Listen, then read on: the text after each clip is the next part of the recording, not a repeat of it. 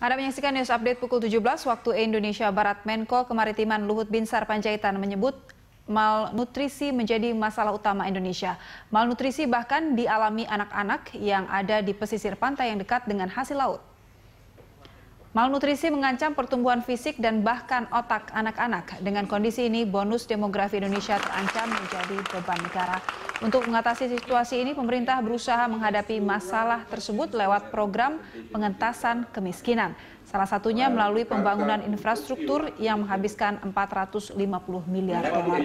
Saat ini kemajuan terlihat dari indeks Gini Indonesia yang turun dari 0,41 menjadi 0,375.